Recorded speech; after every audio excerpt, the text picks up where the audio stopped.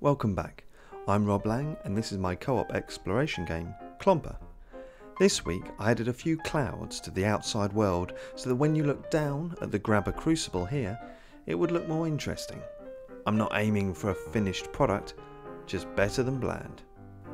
But the main job this week was rewriting the algorithm that calculates how much steam each station gets.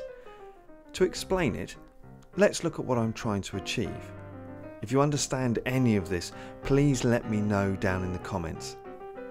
I want steam to flow from the boilers through pipes to the stations that need the steam.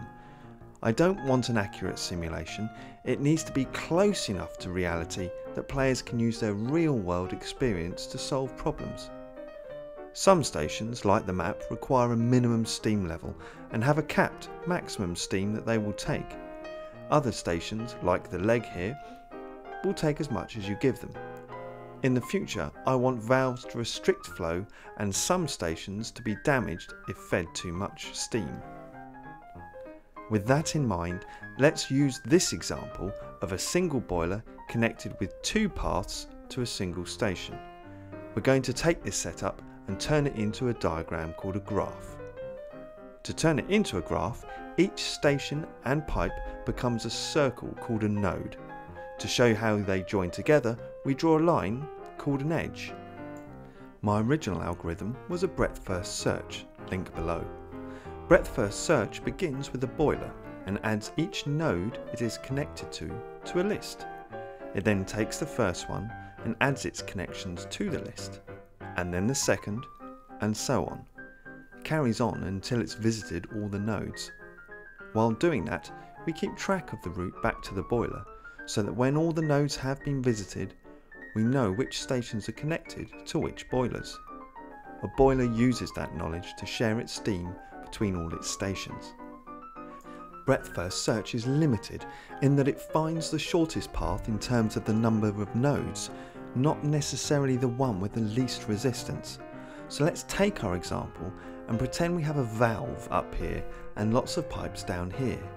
The shortest path is the one with the valve, but the easiest path, the one with the least resistance and no valve, is the longer one. So breadth first search will take us through the valve. I knew about this limitation of breadth first search before I started Clomper.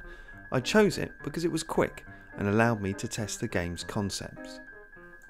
Now let's reuse our example with a new algorithm. To find the right algorithm, you need to choose your model carefully our graph diagram so far has been okay, but we need to add some detail. We want to say that every pipe has a resistance. Normal pipes have a tiny resistance. Valves have resistance that can change. I settle on Dijkstra's algorithm. Now Dijkstra starts with a node, sets its distance to zero, and then works outwards, calculating the distance using the edge values. Now we don't have edge values, so I take the resistance of the node we're moving to. It ends up working out the same. You keep going, and if you encounter a node with a value already, just take the lowest. While doing that loop, I can also propagate the steam, subtracting resistance as I go. Once every node has been checked, I know then that the station will have the path to the least resistance, I do that for every boiler and add up the result. There are some other details, but that's the crux of it. Performance wise, Dijkstra's algorithm isn't the most efficient, but I will only have a few hundred nodes at most, and the graph will be sparse, which means a few edges. I don't have valves yet, but I can simulate them using a slider in a custom editor in Unity. Red pipes, shown here, have 400 steam, moving through orange and yellow and green to blue, which have none.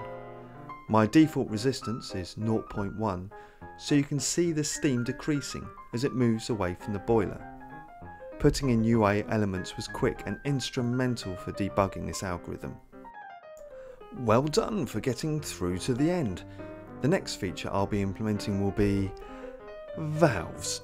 I can feel the collective sigh coming from the audience. Finally! He's putting valves in. If you understood any of this video, please leave a comment. If you liked it, leave a thumbs up. And if you want to see more, then please sub. Thank you very much. Bye bye.